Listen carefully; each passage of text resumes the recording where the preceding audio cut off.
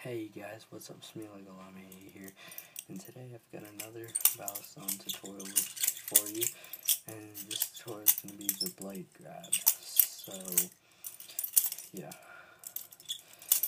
and so, that's, so this is what the trick looks like.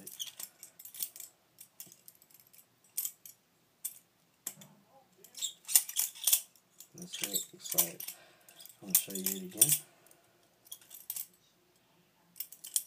Ah, sorry. Sorry about that. Abigail. That's what it looks Alright.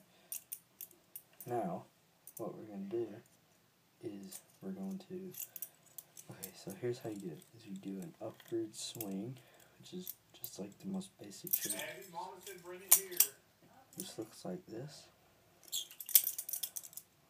Drop the bite handle, move your thumb, and move it up. That's it.